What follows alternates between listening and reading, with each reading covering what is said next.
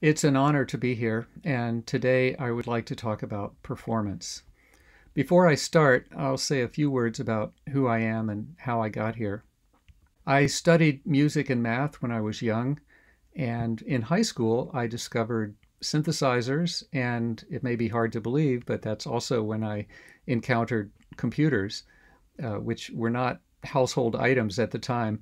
But by the time I finished college, microprocessors were around and available, and I was interested in computing and synthesis, so I designed and built my own computer. Um, also designed and built a synthesizer. And after a little pause for graduate studies, I went back to what I really loved, which was computers and music. And I created a computer accompaniment system as some of my initial research. And later, many of you know about the Audacity editor that I co created at, Carnegie Mellon. Uh, and more recently, I've been composing opera with uh, colleague Jorge Sastre. We co wrote La Mare dels Peixos, and I translated that to English and produced it here in Pittsburgh. Let's talk about computer music now. I believe that almost all of computer music can be fit into three directions. We're on a path to create new sound, so that means studies in musical acoustics and sound synthesis.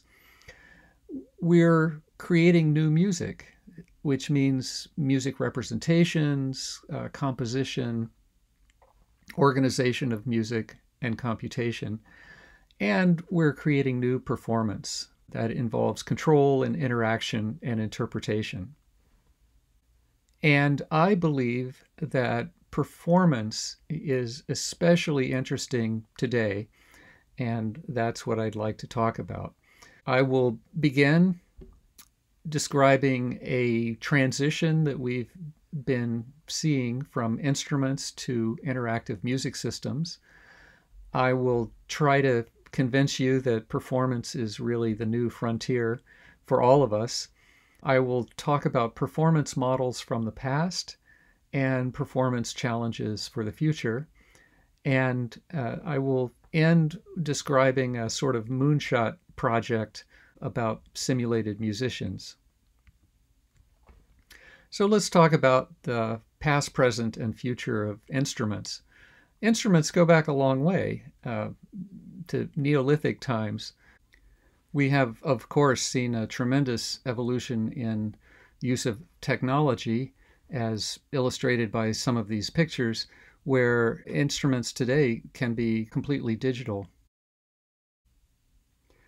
Because instruments and their control has become more digital and more computational, they are infinitely more flexible than instruments in the past.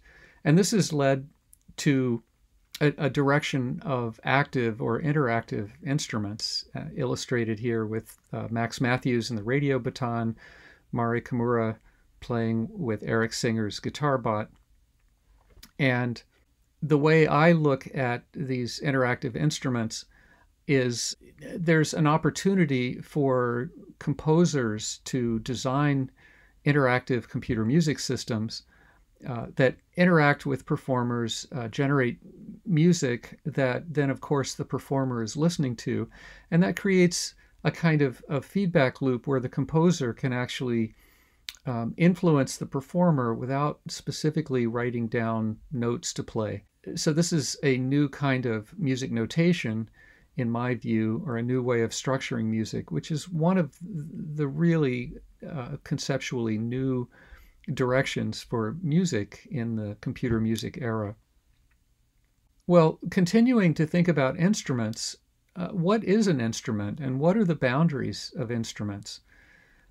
I put this diagram on the left to motivate some thinking. We normally think of an instrument as some device controlled by one human that creates sound. But what about the situation where there might be multiple humans connected to an interactive system. Uh, interactive systems are communicating among themselves. So we end up with some kind of blend between performance and instruments where it's really not clear where the boundaries are. So, at the risk of oversimplifying the picture here, computation is blurring any distinction between instruments and performers. And I believe an important direction for NIME is intelligent interactive performance systems. So that includes artificial performers, orchestras, robots, and more. If we're going down the road of computation and performance, what do we know about performance to begin with? After all, we've spent decades studying uh, computer music sound synthesis and production based on knowledge of physics and acoustics and digital signal processing. We've studied music at the symbolic level and the structural level based on centuries of development in music theory and music representation. So it seems like if we're going to work on computer performers, we should look and see what do we know about performance to begin with. There are many areas to study in performance. One of these is expressive timing, and I've listed a raft of names of some of the pioneers in these fields. Expressive timing research has taught us that timing is related to music structure, to emotion, to physics and mechanical constraints, to randomness. And there are many studies, including uh, models and machine learning, to learn about expressive timing. In the area of emotion, which is understood and imparted by performers. There's another large body of research, and we've learned that emotion can be cued by various music features, including control over tempo, uh, pitch height, the steadiness of tempo, the use of dynamics, and, and so on. Another area of performance is entrainment or synchronization. And uh, for a great overview, see this recent paper by Clayton et al. With entrainment, uh, we measure it and we have some very interesting studies, but we don't really understand the mechanisms by which we entrain. How do we tap our foot to music? Uh, we, we can't actually build reliable systems that do that. The fourth area here is improvisation and stylistic interpretation.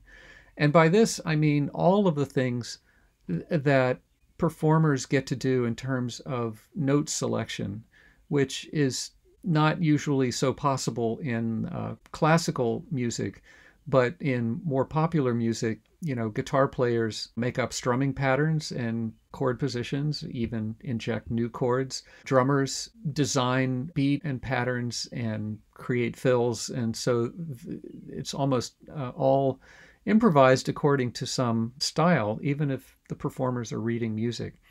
So there are many examples of this and many examples of computational approaches to imitating style or uh, incorporating style and improvisation. But there's no real general theory that we can work with. So we do have some research and some theory to build on.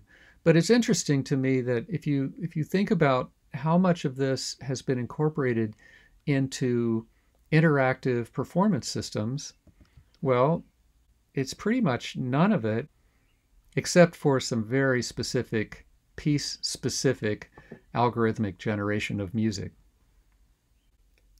Let's talk about some different models of performance. Perhaps the most prominent in this field has, has been the model of improvisation, and I'd like to call out Joel Chadabe and George Lewis as pioneers in this area, but of course there are many, many more.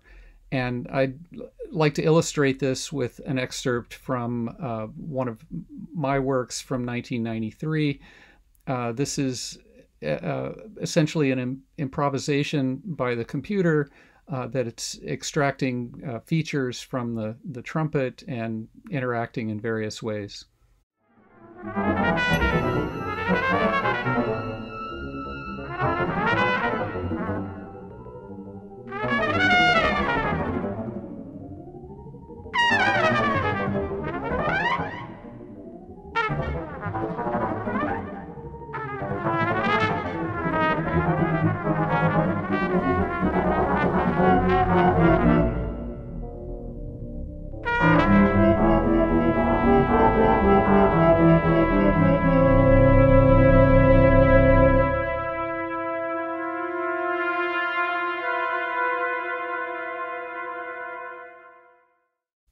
Another model of performance is what I've called computer accompaniment.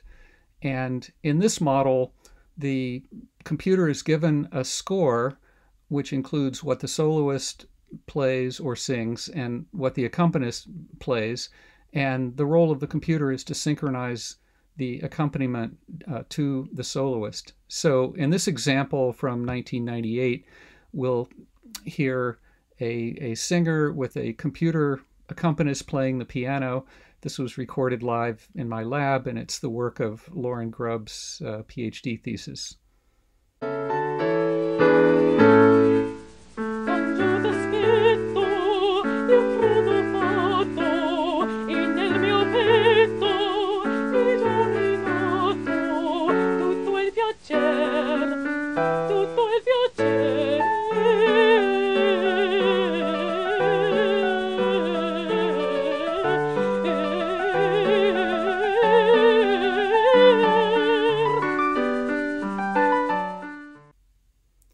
Another model of performance is based on the ideas of conducting. Pioneering research in this area took place in Japan by researchers including Ohteru, Katayose, Morita, and Hashimoto. And more recently, I've been pursuing this idea for integrating computers into popular music performance. I'd like to give this example of a performance of the tune Alone Together orchestrated by John Wilson and performed by the CMU Jazz Ensemble, along with a virtual string orchestra. You'll see uh, the eight speakers in the back, which are the string orchestra, and the strings are cued and synchronized by one of the members of the band who is uh, tapping her foot and uh, occasionally giving some cues. The, the important thing is that you'll hear some high strings come in synchronized with the orchestra, uh, but the computer is actually following the foot tapping as a form of conducting, and so there's there's no click track.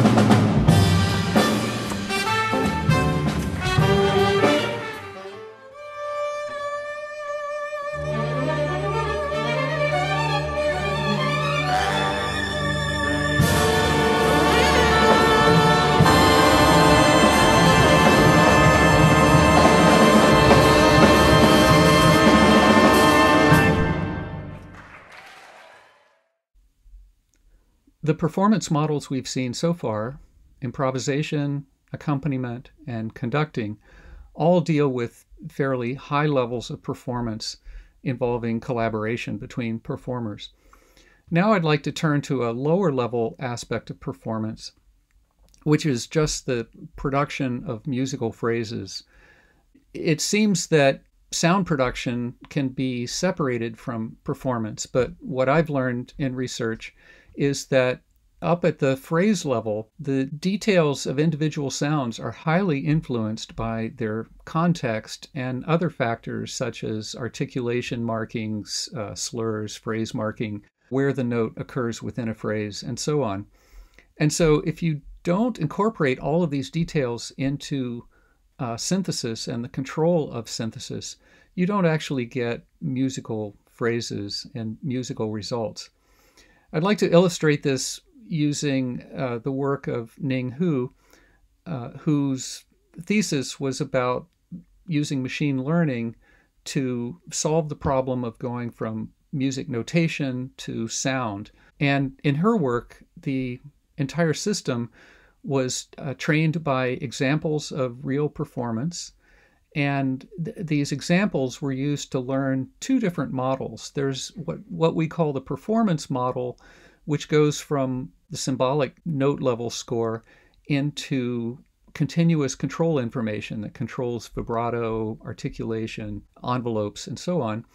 And then there's the instrument model that produces the right spectrum given these this control information.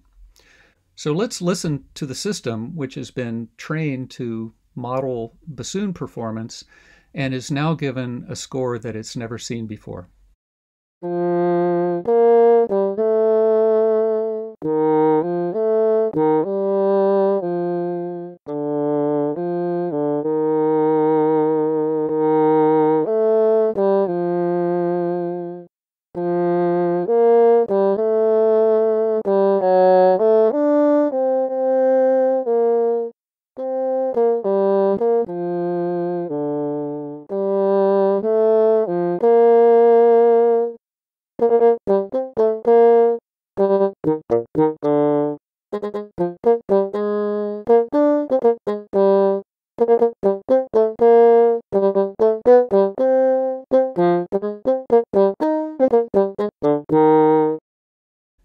Critical component of music performance is listening. We saw in, in uh, computer improvisation and computer accompaniment uh, some machine listening. And in general, machine listening has been applied at a very low level. So we build interactive systems that respond to uh, amplitude or pitch or uh, onset timing and and various other features and map those into music generation or sound synthesis. But uh, usually dealing with sound at a, at a very direct and low level. But it's it's rare to build systems that engage in a, in a real high level uh, form of musical discourse. And a lot of that has to do with the difficulty of machine listening. I'd like to show some work from the 90s that I did with Belinda Thom and David Watson. Uh, the idea here was to uh, try to build a system that could understand some different playing styles. So, in in the context of a, a free improvisation, as the human performer transitioned from one playing style to another, uh, which might impart kind of different musical directions and different emotions. I wanted the machine to understand where things were going and to respond accordingly. And so the way this works is we listen to uh, uh, the previous five seconds of trumpet playing and analyze that into various features uh, such as uh, pitch, amplitude, um, uh, interval size, note density, and uh, range, and some other uh, features. There's about a dozen in all. And these features uh, go through a uh, classifier And the classifier outputs one of four, or in some other studies, eight different styles of playing. Now, these styles are nothing absolute and it's not wired into the program. The program just uh, uses uh, some rather simple machine learning to build a classifier uh, to identify classes that are labeled in training data. So we train the system with lots of examples, and, and then the system is able to identify similar styles of playing. Well, just a little story about this before I play a demonstration. Uh, this work was done before uh, music genre classification became a major topic in the music information retrieval world. And uh, I always kick myself thinking about this that if, if only instead of playing uh, some, some improvised jazz trumpet into the system, if I had trained it to recognize rock and country and classical music, uh, using essentially the same techniques and publish something about uh, music genre classification, it would have been a, a, really great pioneering paper, but I missed that opportunity. So here is a, a demonstration of, of this in the lab, and then we'll play an example of this being applied to a piece.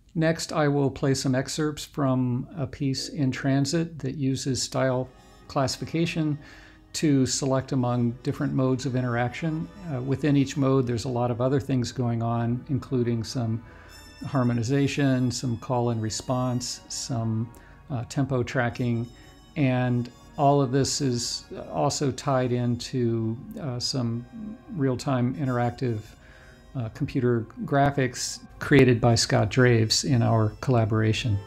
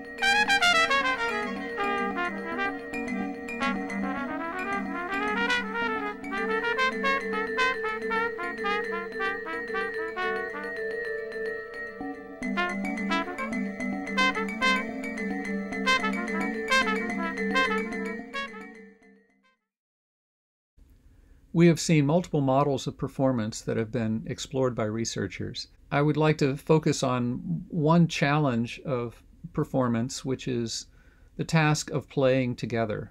This is addressed somewhat by accompaniment models and conducting models.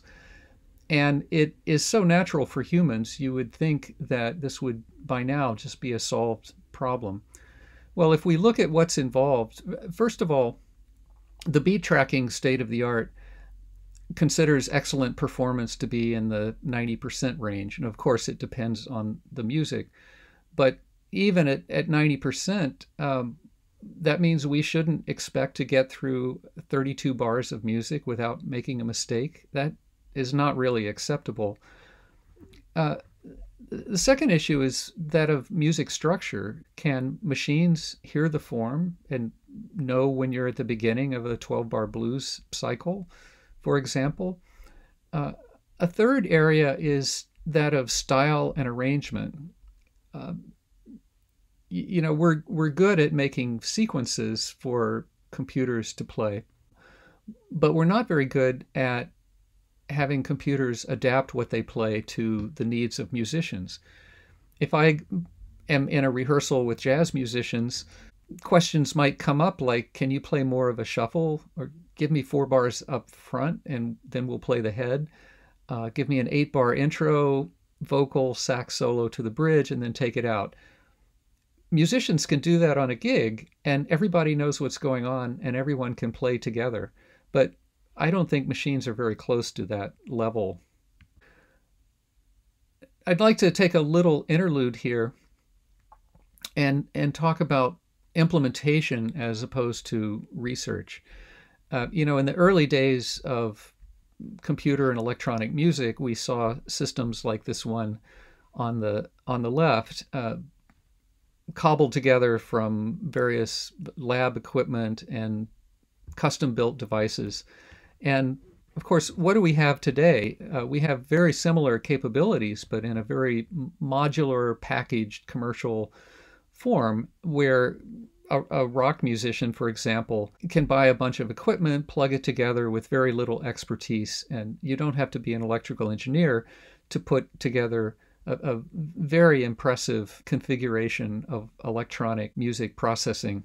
Well, I think this similar thing is happening or can happen with software. Uh, over on the left, we have the Canadian Electronic Ensemble in a in a performance, and you see a similar kind of uh, wires everywhere, multiple different devices sort of cobbled together. And imagine a, a future where you just show up to a gig with a smart drummer, artificial intelligent horn section, automatic strings, virtual bass, and they're all coordinated and plugged together by standard protocols, and they share information and controls using uh, standards or compatible interfaces. That would introduce a whole different world of practice and availability to musicians. So I want people to at least think about what these systems might do for musicians and how they might be built for real musical practice. Finally, I'd like to describe a moonshot project for performance. The idea of a moonshot project is to establish a goal that is beyond the state of the art, but is still conceivable, and one where to reach that goal, uh, many, many advances would have to take place in many different areas. So it's uh, kind of an umbrella project under which much research and practice can flourish. Uh, well, Jerry Garcia is dead, and millions of fans miss him. Jerry Garcia was the leader of the Grateful Dead, a jam band, and uh, so the question is can we develop and apply artificial creative intelligence to fill the improvisation gap and essentially create a virtual Jerry Garcia that could once again perform for audiences. There are five terabytes of concert recordings left behind in the legacy of Jerry Garcia and the Grateful Dead. It's about 10,000 hours. Imagine if we could use machine learning and modeling of performance to learn from these recordings how to simulate uh, Jerry Garcia, and then perhaps combine some uh, control and coordination and collaboration through human computer music performance to actually present live performances, including a virtual Jerry Garcia. You can imagine applying these concepts to many great artists of the past who left behind legacies of music and recordings that could be possibly extended with artificial intelligence into live performance in the future. I'd like to wrap up now. We've come a long way. Interactive performance has transitioned from technical research to artistic practice. We'll hear many examples in this conference. We have a long way to go. Understanding music performance, at least as well as music theory and sound synthesis for music.